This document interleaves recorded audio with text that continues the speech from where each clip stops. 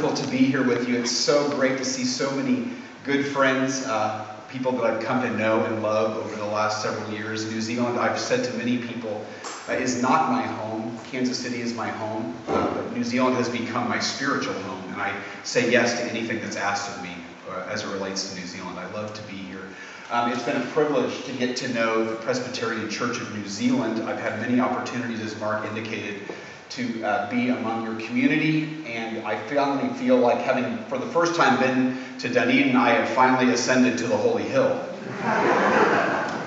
and I am very humbled and grateful to be here with you today. As Mark said, we planted a church, Jacob's Well, 15 years ago, and when we planted the church, we were looking for a space in a particular part of the community where much life wasn't happening. It was urban but not inner city. It was creative and artistic.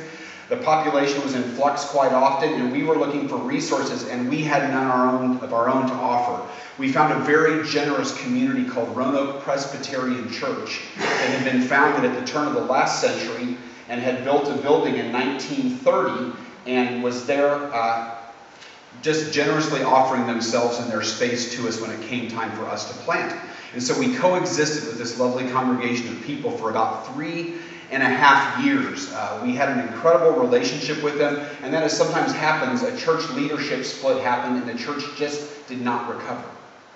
And so we were able to purchase the building from that congregation, and from the denomination, for an incredibly generous price, pay cash, and we've lived there as our sole residence as a community for the last 15 years. It's home. And when we lost Roanoke as partners in ministry, we grieved it deeply. One of the things that I think made it easier for that community to close their doors was the sense that they were handing off a baton, the work that had been going on for 100 years in that community, to another community that would then continue the work that they had done. And I would like to share with you some pictures that talk about the continuation between their ministry and ours. Uh, some of you who are here celebrating 50 years, that's incredible. I hope to someday be in a similar situation. Um, Roanoke was built in 1930, and this is the original uh, architectural drawing that was created when they were trying to raise money to build this building. This was the building as it was eventually conceived and erected, and this is it today. Uh, we've been looking at the different things that are going on there. This is what it would look like for people to enter and arrive at the church back in the 1940s. This is our community arriving at the same space today. This is their community, greeting one another, blessing one another. This is ours again in the same space. The space is the same, the heart is the same, but some of the ways it gets expressed is very different. Here's the pastor preaching on Sunday. This is how we occupy the space for teaching. I love this picture of their worship leader. And then ours. Them preparing to serve the body and blood of Christ through the Eucharistic communion. Does that look familiar to any of you? And what it looks like for our community. Kids ministry, or more properly, Sunday school in their day. That young man does not look quite happy to be there, does he? and our children in the same exact space. Fellowship happening after church in the kitchen this is my favorite comparison. And it happening for us. Guys in the kitchen this time. And finally, blessing each other as we're being sent out into the world. In their day, and now in ours.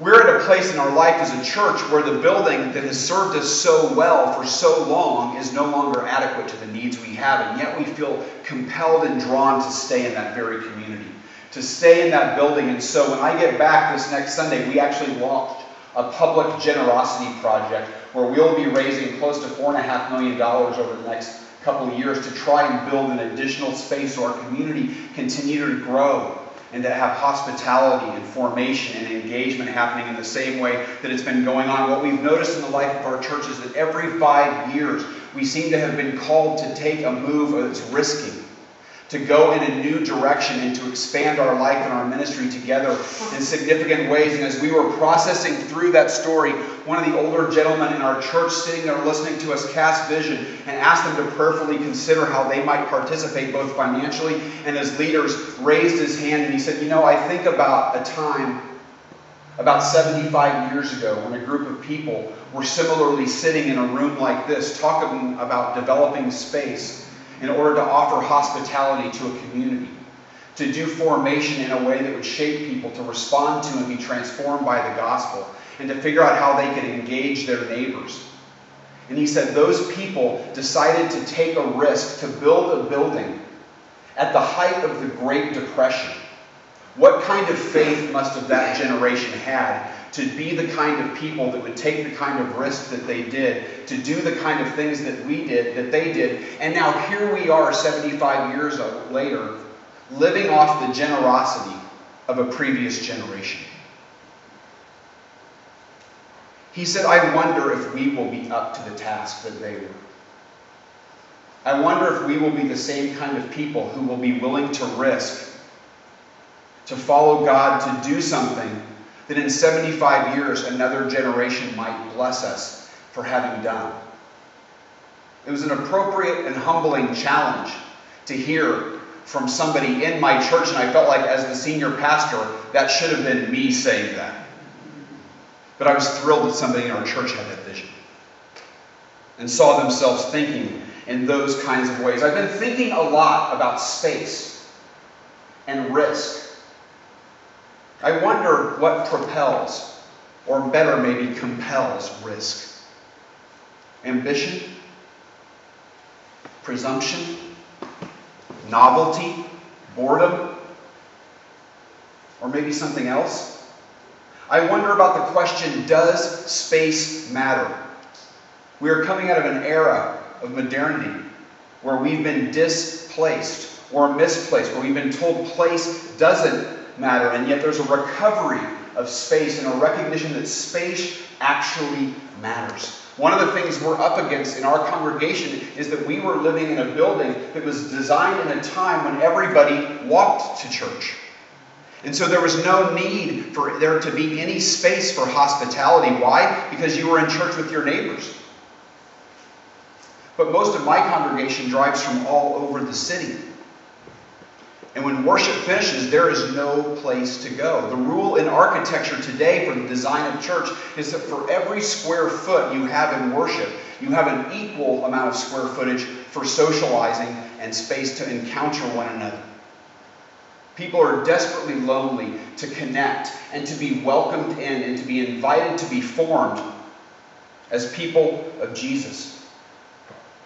But when we talk about space, we also have to recognize that space is about more than just our physical environment.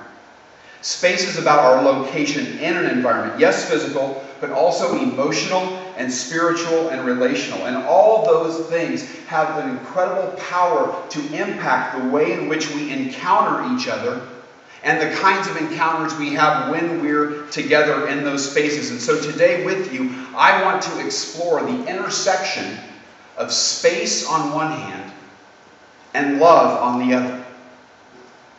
And to do so, I want to look at two passages from the Apostle Paul. The first from 2 Corinthians, the second from Ephesians. The first thing I want to explore is leadership and risk. And I want to reflect on the life and ministry of the Apostle Paul as he relates it in 2 Corinthians. You might know 2 Corinthians. In chapter 4 of 2 Corinthians, Paul describes his ministry and the difficulty he is having being an ambassador for Christ, the reality of his suffering. It's a compelling passage where he talks about the temptation he has to lose heart. And why might he lose heart? Because of the reality of the suffering that he is experiencing as a minister of the gospel. He reminds us that the treasure is held in jars of clay. That we might know that this power that we have is from God and not from us. Hard pressed on every side, but not crushed, perplexed, but not in despair, persecuted, but not abandoned, struck down, but not destroyed. It's quite a litany. He says we always carry around in our body the death of Jesus, so that the life of Jesus may be revealed in our body. He continues, Therefore, we do not lose heart. Though outwardly we are wasting away, yet inwardly we're being renewed day by day. So, one bracket of Paul's leadership and the risk that he's taking as a minister of the gospel is framed by suffering. And then he jumps and we get to 2 Corinthians chapter 6 and we hear the same kind of thing. Paul's hardships as a result of his ministry. Rather, as servants of God, we commend ourselves in every way in great endurance, in troubles, hardships, distresses, beatings, imprisonments, riots, hard work, sleepless nights, hunger, in purity, understanding, patience, kindness, and the Holy Spirit, and in love. Paul's life is bracketed in 2 Corinthians chapter 4 and chapter 6 on both sides by his ministry and the suffering that he endures as a result of being an ambassador for Jesus Christ. But then in 2 Corinthians chapter 5, we discover the beating heart of Paul's life and what propels and compels him to live in such a way that he would endure such hardship, why he would risk. 2 Corinthians chapter 5 is about those two things the ministry of reconciliation that he has been given, and the hope that he has in the resurrection, given the reality of his suffering.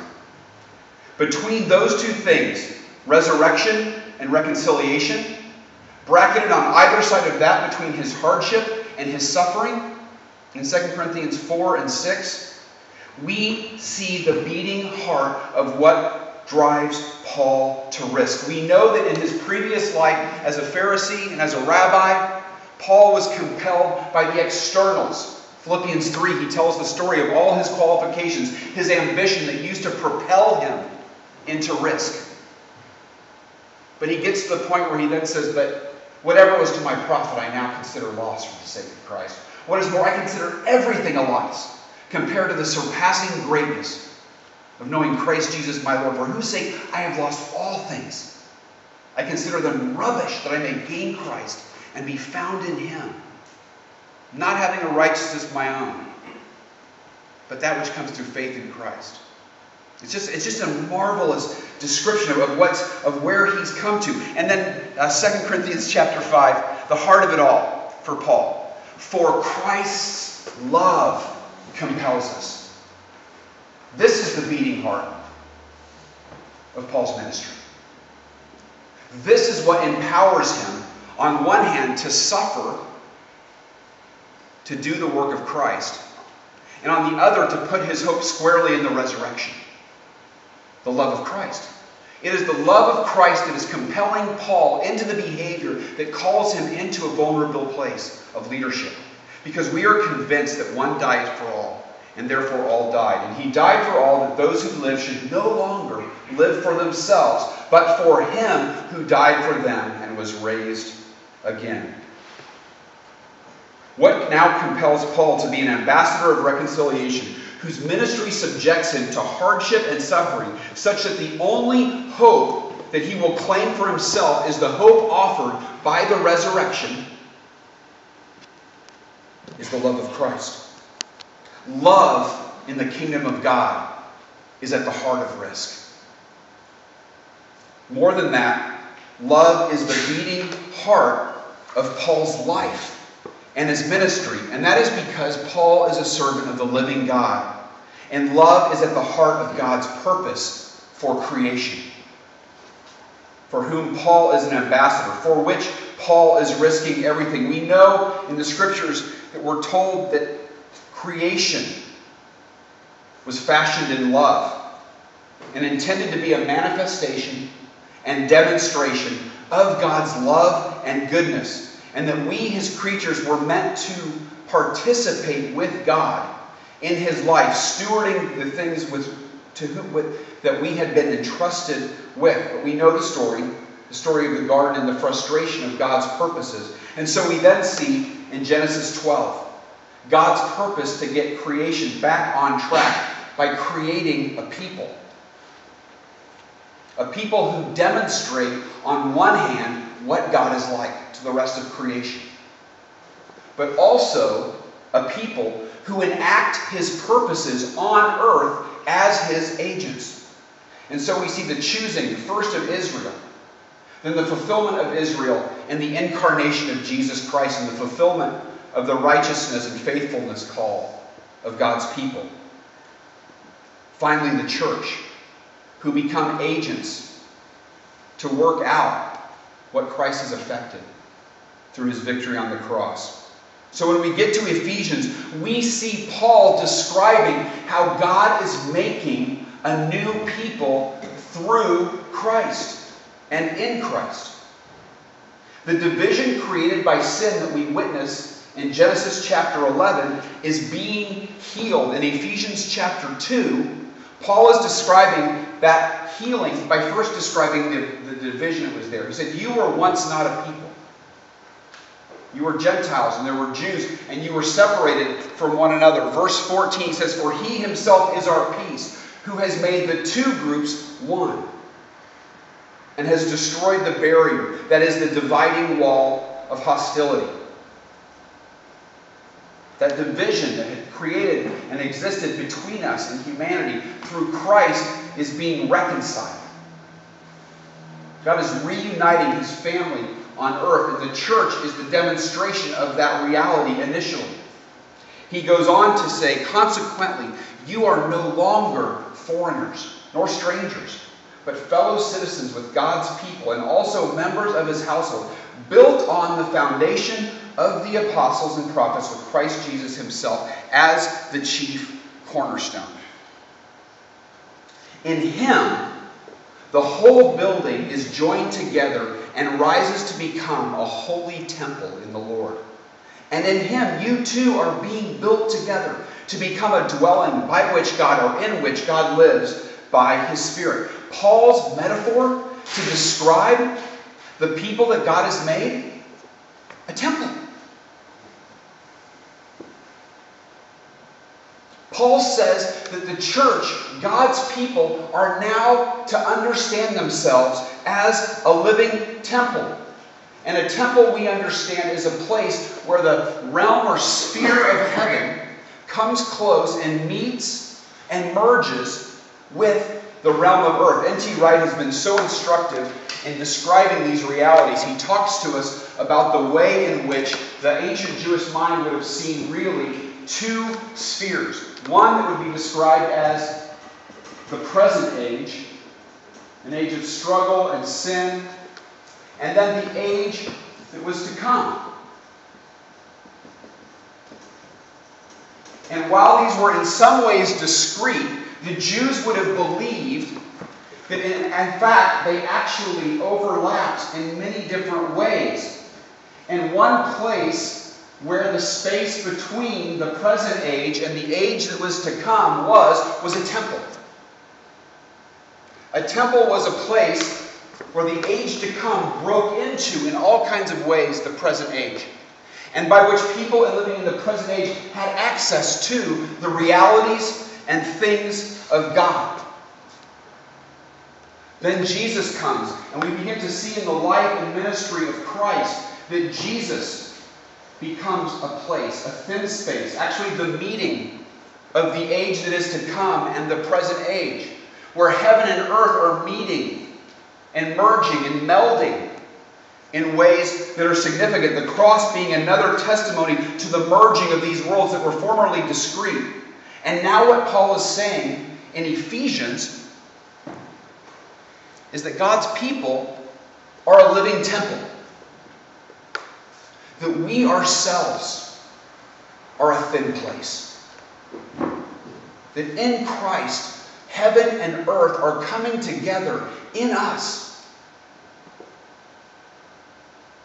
And that in our communities, we are a space where these worlds are coming together to show what God is like and to enact God's purposes for the world, a living temple. And Paul wants the Ephesians to comprehend what God is doing and how they are connected to it.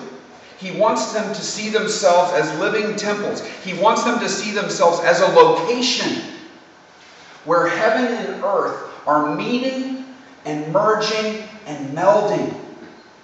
And so he prays.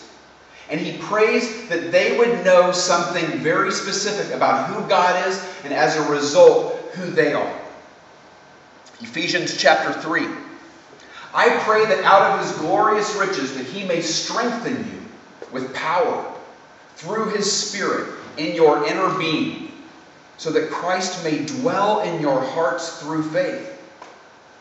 And I pray that you, being rooted and established in love, may have power, together with all the Lord's holy people, to grasp how wide and long and high and deep is the love of Christ, and to know that this love surpasses knowledge, that you may be filled to the measure of all the fullness of God.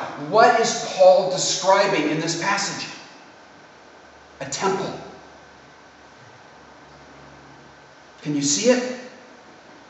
In 1 Kings chapter 5 through 8, it describes the details of the temple, the preparation for it, the description of it, its dimensions, its construction, its furnishings, and the way it is to be dedicated. Paul here is describing a temple in many of the same ways. The temple is a place where God's presence dwells. Verses 16 and 17. I pray that out of his glorious riches he may strengthen you with power through his Holy Spirit in your inner being, the Holy of Holies so that Christ may dwell in your hearts through faith. A temple is a place where God's presence dwell, and so Paul prays that they would be filled with the presence of Christ. A temple has foundations, which we see in the second half of verse 17. And I pray that you, being rooted and established in love, to be rooted is to be firmly fixed, established is to have a foundation. And finally, in verses 18 and 19, we see the dimensions of God's temple. That you may have power together with all the Lord's holy people to grasp how wide and long and high and deep is the love of Christ. And to know this love surpasses knowledge, that you may be filled to the measure of all the fullness of God. And because the presence of Christ is both the foundation and the beating heart of this temple, and that presence means at the core of what it means to be his people is to be a people of love. We live at a time that if the church is going to survive, much less engage or even thrive, our communities are going to have to risk.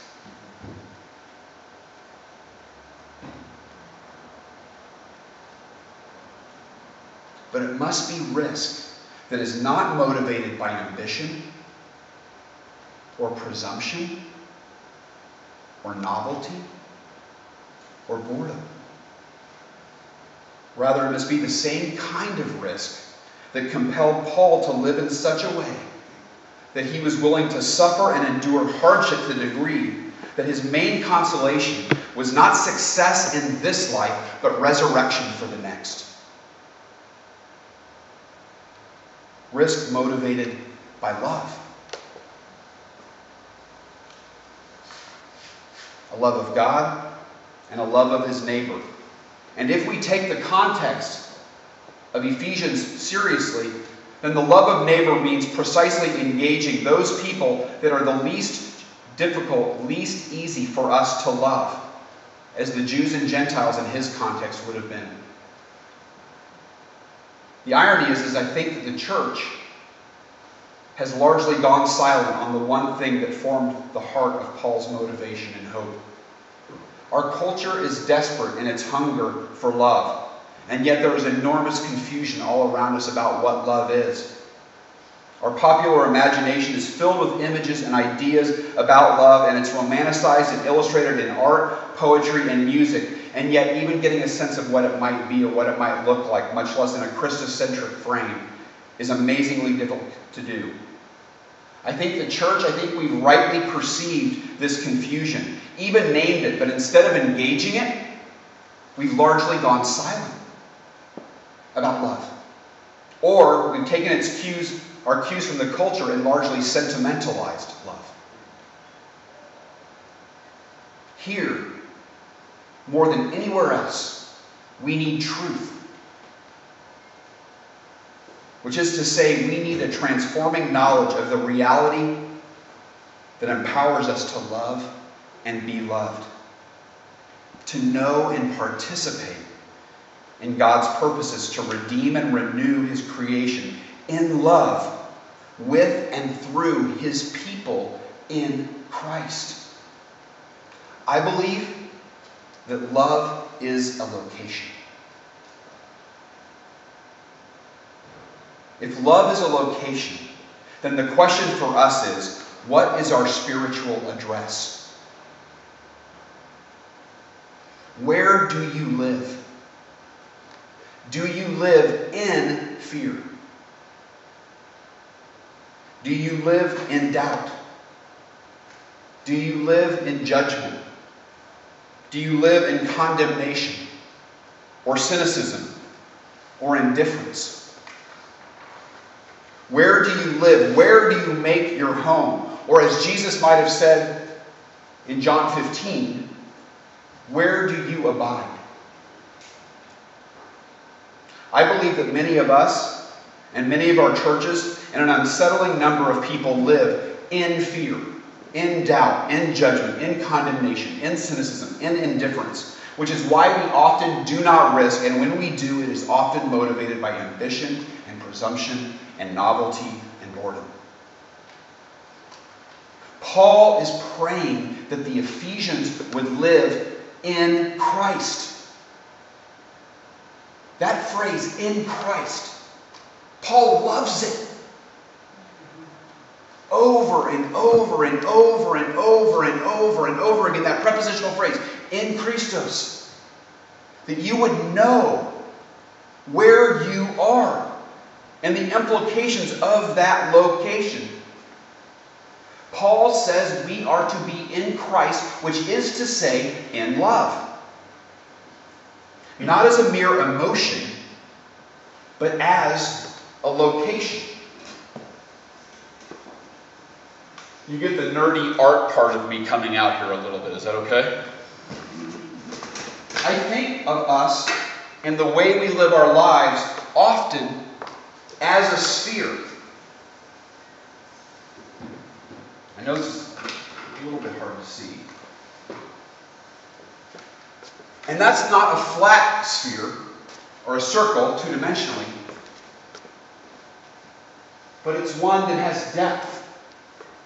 And I believe we move around in our lives in these spheres. And I wonder what it would look like if we understood love as a location in which we live and move and have our being. And I wonder what would happen if we could actually see each other's spheres. Or perhaps our church's spheres. Where would our spiritual address be? I wonder if this is what most of the epistles in the New Testament and each of the seven letters to the churches in Revelation are an assessment of the sphere that characterizes the life of that community. Paul wants the love of Christ to empower their lives, to compel their ministries, and to be their location. And that by living in that location, they would be empowered to join the work of love that the Father initiated with Israel, fulfilled in Christ, and then commissioned us to join in through the power of the Spirit. A love that would allow them to risk, endure hardship, embrace suffering, and participate in the ministry of reconciliation. The ministry of reconciliation that has to happen first between themselves and ourselves and God, then between others and God through their testimony about the nature of the God who comes to be known and loved and reconciled with, and then between themselves and others. I believe the Spirit of God wants the same thing for us and for our communities. And for this to happen, I believe we must ask some difficult questions and answer them truthfully. Where are we established? In what are we rooted? Here's how we might begin to answer some of those questions. Is our world getting bigger? Are we focused on those questions and concerns which animate the larger context with which we're to be engaged in mission? Are our communities and is our life characterized by faith and hope and love and generosity and hospitality and forgiveness? Or is our world collapsing inwardly, getting smaller, fixated on questions and concerns that are narrowly tribal in scope, and disengaged from the environment we share with our neighbors? Is it characterized by fear and doubt and territory and cynicism and condemnation or indifference? What kind of environment does our leadership and our structures create? What kind of environment does our leadership and our structures model? And what kind of environment does our leadership and our structures nurture? About a year and a half ago, I saw a brilliant commercial that I want to share with you in a minute.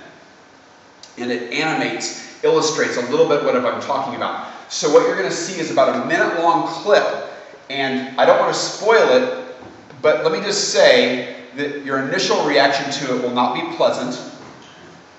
And then the, I think as it continues, you will grow in fondness for it, okay? So I'm going to play it, and then we'll talk about what we've just seen, okay?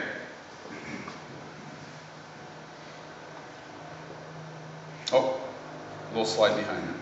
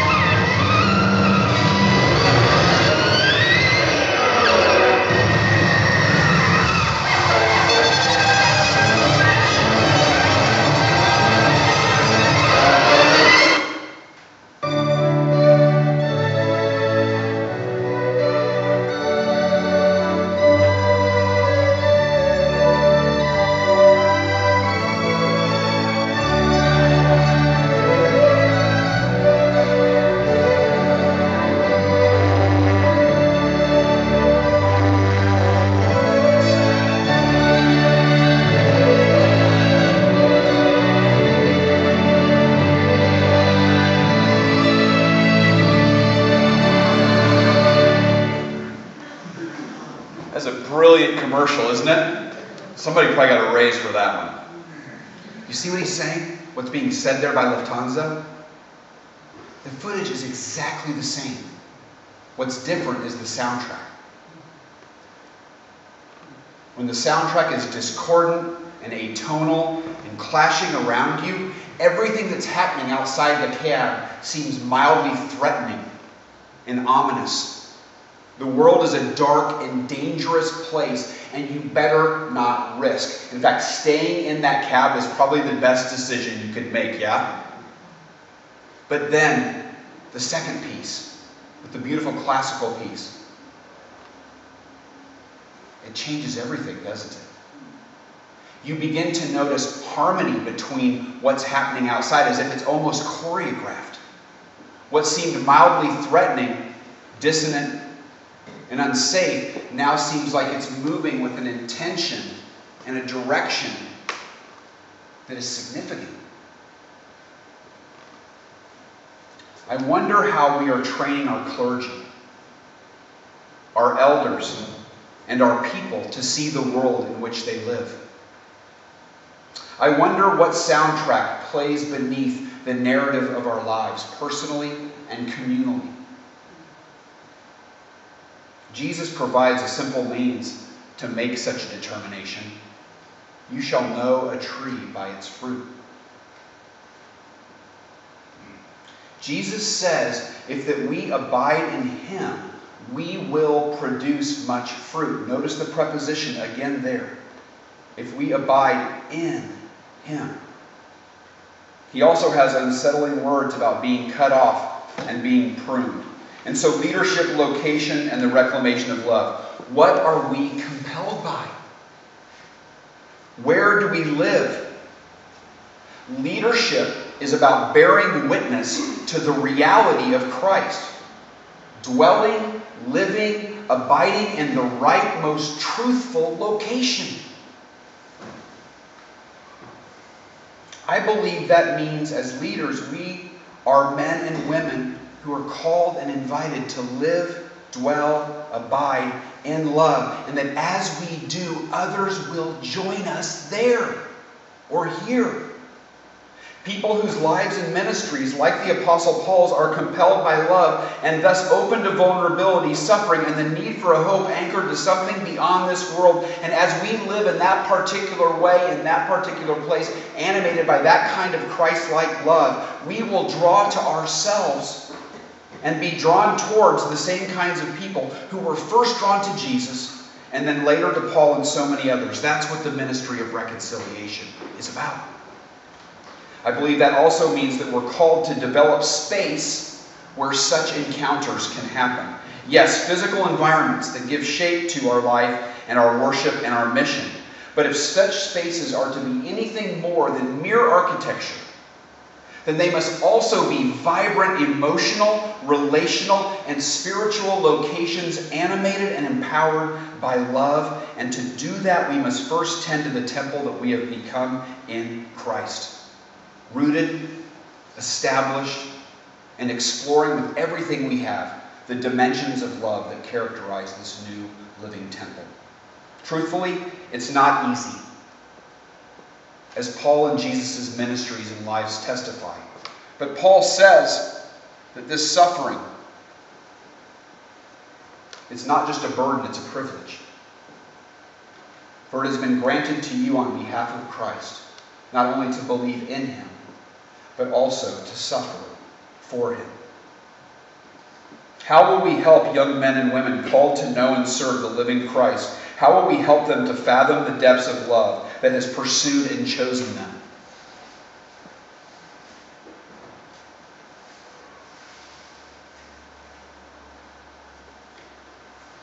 There are other places in our lives where we also need to ask such questions about the elders that lead our churches, about the systems that give shape to our life or that don't. But the cool thing that I see happening all around me is at a time when there is much confusion about the nature of love in our culture, there is a simultaneous growing awareness of the emotional, relational, and spiritual aspects of leadership, unfortunately modeled not in the church literature, but often in the secular business literature. Nevertheless, those resources are good. And so, thinking back to that generation of people that built the building that we've inherited in Kansas City, I wonder how our faith forebears might assess us today. I think it's interesting that I'm giving this address in a room filled with men and women who 50 years ago took that step and how they might assess who we are and what we're doing today. I'm certainly asking those questions at a time of transition and opportunity for my community, and I wonder about those in yours. But I even wonder, perhaps more important, not just about those who have come before us, but those who would come after us. Would we be living now and loving now in such a way that another generation might have a season to live off the fruit of our ministry while they themselves are being rooted and established in love? Would they be grateful for our contributions? I wonder what kinds of people were compelled to do the things that were instrumental in blessing and transforming so many and so much of their and our lives. And I wonder if they would ask us or ask themselves, what kind of training produced such men and women? We must know and reclaim love. In closing, I'd like to quote from C.S. Lewis. One of my favorite books, I read it every year, is his book, The Great Divorce. Um, some of you may have read The Great Divorce. It's a parable, an allegory about a bus ride that people who don't know that they're in hell but yet are take and they tour heaven. And the book describes various encounters that people touring heaven have with people who are there and pursuing God in the high country and yet who turn around and come back and engage them, trying to persuade them to let go of their attachments that they might experience life. One such encounter at the end of the book is between a woman and a man who had a very difficult marriage throughout life. And yet she has gone into the high country, become glorious, such that almost everybody is tempted to worship her. She has become so much her true self in the presence of Christ. He, on the other hand, has become such a shadow of a person that they give him a name called the tragedian. And they have an interaction that our guide witnesses. It's a very powerful interaction, and I've never stopped thinking about it since I first read it. They're arguing about love. His limited understanding of it, her experience of it. Love, said the tragedian, striking his forehead with his hand. Then a few notes deeper, love. Do you know the meaning of the word? How should I not? said the lady. I am in love. In love. Do you understand? Yes, now I love truly. And they banter back and forth. He goes after her, he goes after her, and finally she has enough. He says, You do not love me. He'd become thin and his voice bat like. He was now very difficult to see. I cannot love a lie, said the lady. I cannot love the thing which is not. Now, this is it. I am in love, and out of it I will not go. Love is a location. Love is a location that when we are rooted and established in it, it changes everything. And it becomes the kind of energy and source that has historically, and even to this day, compels God's people to risk greatly for the sake of his kingdom. Amen.